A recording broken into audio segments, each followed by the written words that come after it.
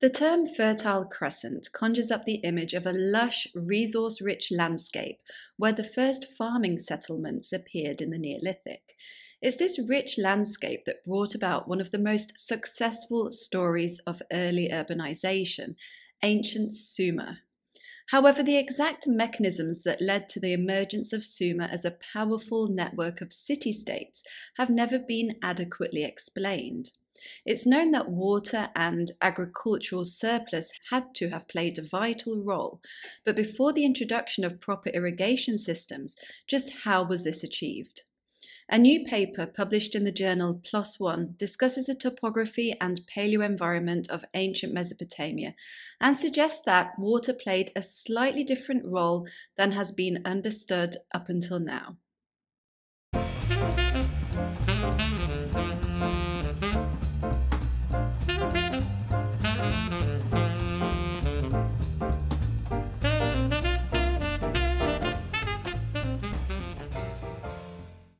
During the Ubaid period, from 6000 to 4000 BCE, the first settlements appeared on the Mesopotamian plain. These were small, scattered villages reliant on agriculture, animal husbandry, fishing, and hunting.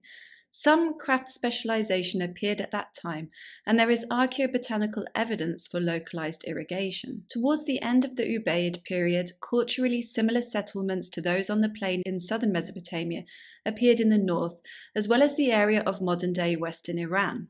Settlements grew, the first public temples appeared, and evidence shows that there was increased social stratification.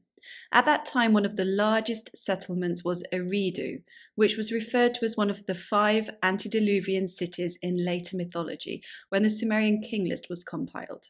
Between 4000 and 3200 BCE, the Ubaid culture was transformed as the region entered what we now refer to as the Uruk period. The population increased, people began to specialize in occupations, technological innovation took place, and society became more complex. This eventually led to urbanization and the emergence of a network of early city states forming ancient Sumer. It's long been thought that an abundance of agricultural surplus was the driving force behind these changes.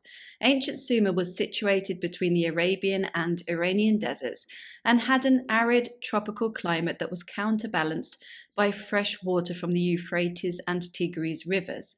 Obviously, without harnessing those waters, settlements would have not been able to sustain themselves.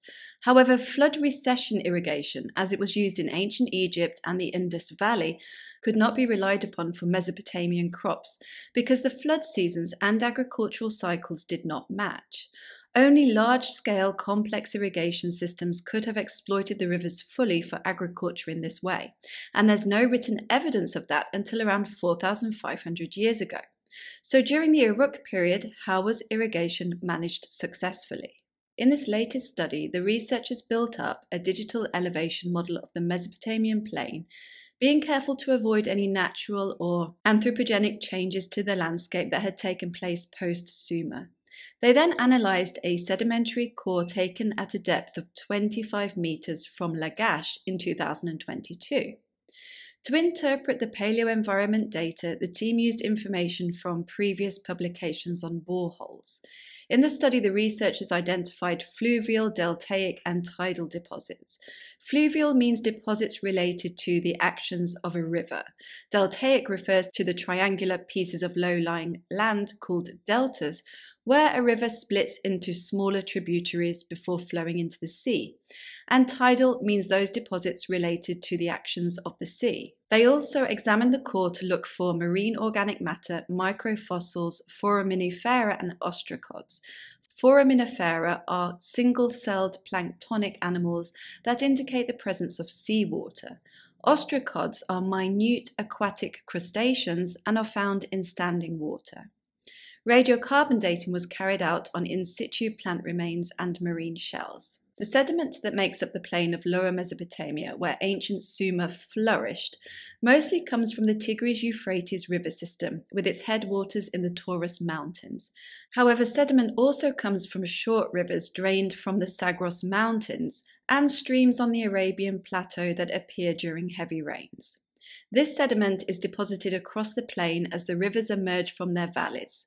During the last glacial maximum in the Pleistocene, when sea levels were around 120 metres lower than today, the rivers extended into the Persian Gulf, which was a fluvial deltaic landscape similar to the modern Mesopotamian plain. Sea levels then rose during the Holocene and peaked in the Persian Gulf between 7,000 and 6,000 years ago. The study revealed that during this high stand, the Persian Gulf not only filled with water, but it also extended further north than it does today. This meant that its tidal flows brought fresh water into the Euphrates and Tigris valleys. An extensive tidal freshwater zone likely developed around the Sumer delta lobe and was formed by both the Euphrates and the Tigris. The sediment was enough to keep up with sea level rise, preventing a marine transgression as far north as Uruk. Tidal freshwater would have been extremely useful for agriculture because it is steady and not destructive. So the evolution of ancient Sumer coincided with the flooding of the Gulf, bringing about accessible fresh water in its surrounding valleys at times necessary for agriculture. This suggests that the region's urbanization was connected to the easy exploitation of tidal freshwater, something that did not require complex irrigation systems. However, towards the end of the Uruk period, this tidal coast at the head of the Persian Gulf eventually became blocked by deltaic infill, cutting off the fresh water the Sumerians relied upon. This coincides with the introduction of large scale irrigation systems when the exploitation of the rivers and their flood cycles for agriculture became their only option. These systems appear in cuneiform texts, but tides do not. So this conforms with the chronology since tidal freshwater was relied upon early in Uruk's evolution, whereas writing appeared towards the end of the period when evidence shows the Gulf head had become blocked. However, the authors of the paper do suggest that ancient Sumer's reliance on tidal freshwater may be commemorated in their later myths.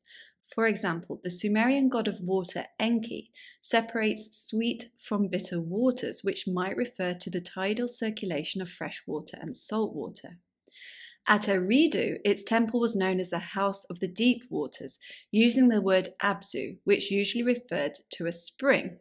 The Abzu was important in cosmology since it wasn't simply the name for a spring, but was the primordial origin of all fresh water, such as springs, rivers, fountains, and the rain. But since there are no springs near Eridu, which is located in a natural geological depression, Perhaps the name of the temple includes the word Abzu because it actually refers to the rising and falling tides that would have been observable in the hollow where the town was built. Even more intriguing is the fragmented flood story written in Sumerian known as the Eridu Genesis, the earliest version of the flood myth that also appears in Akkadian in the Epic of Gilgamesh. Could this story have been based on real events due to the changing coastal landscape of ancient Sumer? Perhaps the blockage of the head of the Persian Gulf caused the annual flooding of the Euphrates and Tigris to be bigger and to last longer, something that was then memorialized in later stories. Further research will help to reconstruct the paleogeography and paleohydrology of the region and see how this related to what we know about the Sumerian economy, society, and culture. Newly deciphered cuneiform texts will also be useful in this context. The paper goes into a lot more detail on the methods used and how the results have been interpreted. So if you want to find out more, it's open access and I've put the details in the description below. That's it. Let me know what you think about ancient Mesopotamia in the comments. Thank you for watching and I'll see you next time.